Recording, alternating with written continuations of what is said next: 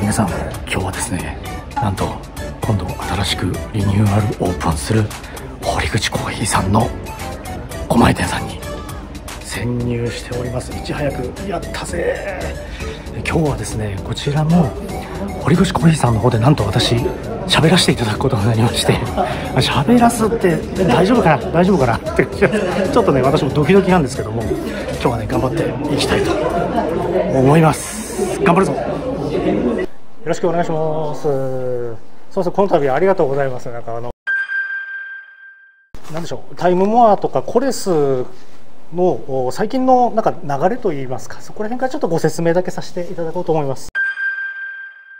で手引き見るっていうとこうぐるぐるやってあ手が疲れたなとか軽く筋トレになっちゃうなみたいな。このステンレスバーがこう少し有名になってきてからあのすごい切れ味が抜群なので受け入れられるようになってきたというのが始まりかなという感じです。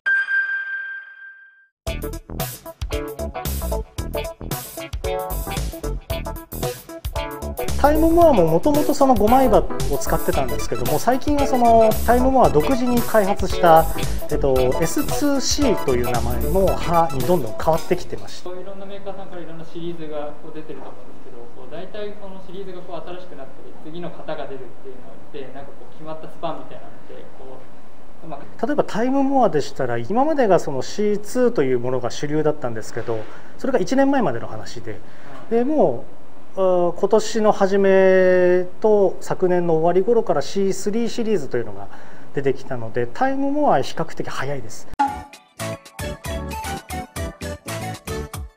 い、皆さんお疲れ様でございました。今ですね、無事あの講習を終わりまして、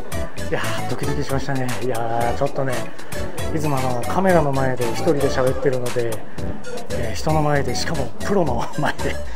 コーヒーのねプロの前でこんなことをやらせていただくなんて本当ねびっくりしました。いや今回ね本当憧れの堀口浩司さんのところでねこんなことをやらせていただくということで本当ドキドキしました。いやもうなんかもう汗ダクダクですよね。これからあの堀口コーヒーさんの狛江店さんがリニューアルオープンす。いうことでプレスの方にもねちょっとあの顔出させていただこうと思ってます。なのでその前段階でねもうちょっと声枯れちゃってますけどこんな貴重な経験ができました。なので、えー、タイムモアとかねコレスとかそういったものも店頭で並べてくれるということなのでもうこの後ろだけ見ても超おしゃれですよね。もう実際にオープンしたらぜひ堀口コーヒーさんの狛江店さんに足を運んでみてもいいかもしれません。それでは皆様素敵なコーヒーライフをお過ごしください。バイバイ。